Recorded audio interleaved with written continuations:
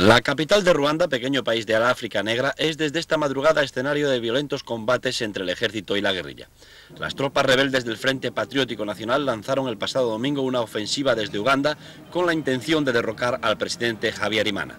Francia y Bélgica han enviado armamento para el régimen amenazado y tropas especiales para proteger a sus 2.300 ciudadanos residentes en esta ex colonia belga.